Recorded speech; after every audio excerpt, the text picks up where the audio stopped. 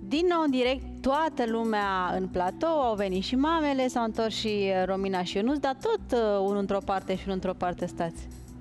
Da, pentru că am luat decizia să punem punct la tot.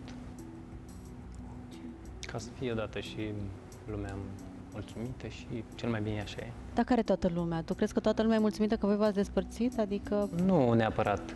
Ce s aude aici pe afară că văzut fa- pe- am făcut anumite ce chestii. treabă ai tu cu lumea de afară? Și de unde ai auzit tu de afară? Se pare că aici trebuie să ai treabă și cu lumea. Eu sunt o persoană care m, cam iau, un- țin cont de mai multe chestii și cred că cel mai bine așa este.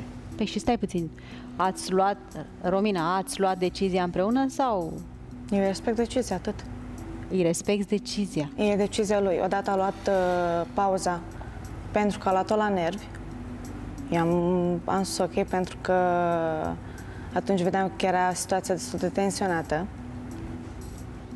Uh, acum, iarăși din nou, ia singur decizia. I-am spus că eu, eu respect, atât. Și acum vreau să fie definitivă. Ce Aoleu, problemă. Da. ei, Stai liniștit. O să Nu. Păi da, stai un pic. Eu nu, mie mi se pare că atunci când ajungi în fața unei fete și o cer de logodnică și dai un inel, te gândești serios dacă ea este acea femeie cu care vrei să stai. Adică Nu, nu, eu am nu a spus- fost totul prea ușor? Am spus tot timpul că spun ce simt azi. Dacă mâine se va schimba ceva și consider că nu trebuie să mai continui, asta fac. Dar nu e prea ușor, adică n-ai dat prea ușor inelul, nu-l iei prea ușor. Asta, asta încerc să zic, că Nu, din punctul meu de vedere consider că nu. Asta este, sunt niște gesturi pe care i-am făcut observație cu câteva zile în urmă, s-au repetat, ceea ce înseamnă că n-a ținut cont de ceea ce am spus eu și înseamnă că nu suntem unul pentru celălalt.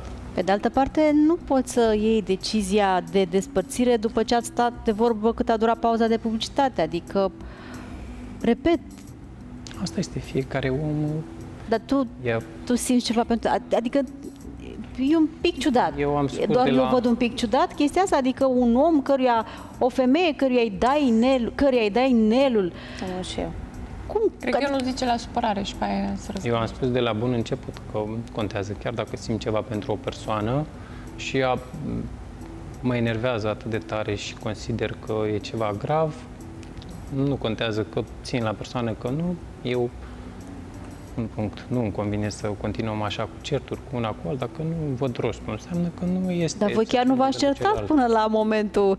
Doamna Mari, vă dădea exemplu aici cât de minunat Spunea că e de nu afară în sunteți. continuare.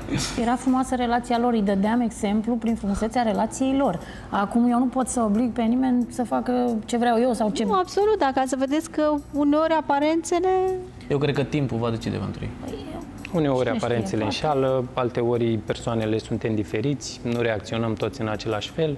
Eu am felul meu de a reacționa și Dar eu doar uh, mă gândeam, poate să nu spui să fie definitiv. Adică nu știu, că o mai, poți mai locui și cu siguranță o să mai locuiți aici în casă.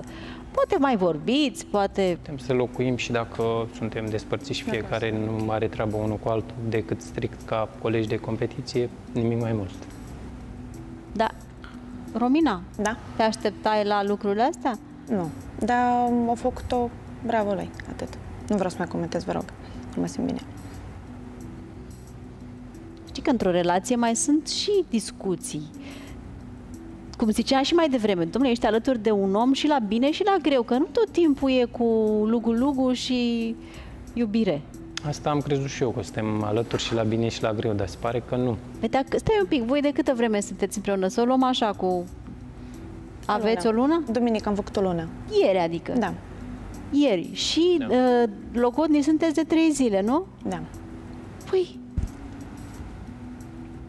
Asta este mie, am mai și zis, aici mi este foarte greu să-mi fac o relație și eu așa sunt ca om.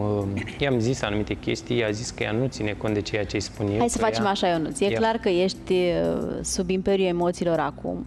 Eu zic să nu discutăm lucrul ăsta acum. Da, ai spus, ai văzut și mama. A luat o decizie, la nervi, s-a supărat că pleacă. După aia, când am vorbit, i-a părut rău că și că și ce a spus la adresa Rominei și că a plecat, asta zic și eu ți- ție. Tu Gândește-te după amiază, gândește-te la noapte, mai vorbiți.